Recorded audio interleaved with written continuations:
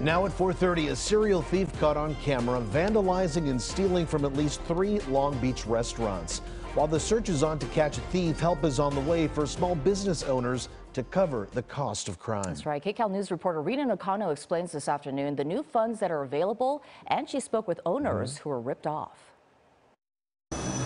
A restaurant that's walking distance from his Long Beach home has been Jason Winter's dream. Across the street from my kids' elementary school, and I live a mile away. But that sense of home and community were shattered early Saturday morning when this person broke the back door of his pizzeria, Speak Cheesy, with a crowbar, walked into the basement office, and stole $7,000. He stood up on this table with his five foot bar, and then he pried the safe out of the cement. Winters quickly found out that he wasn't alone. About three blocks down, I saw the same officers in front of the breakfast bar. An hour prior, a thief wearing the same outfit stole two registers there, once again hitting a small business. People don't realize, you know, my house is attached to this business. So it's like, it's like if we don't survive, I could lose my house. The thief then reportedly drove three miles north and hit Baja Sonora restaurant. We've seen impacts since the pandemic on every major city in America, but help is on the way. Long Beach Mayor Rex Richardson hopes these business owners take advantage of the newly launched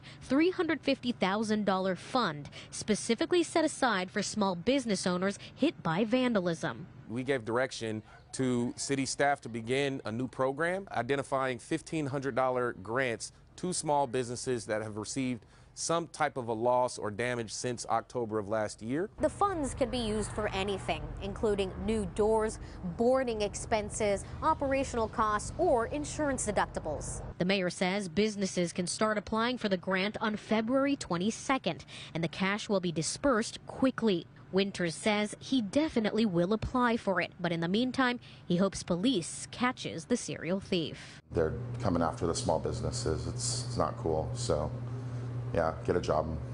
In Long Beach, I'm Rina Nakano, KCAL News.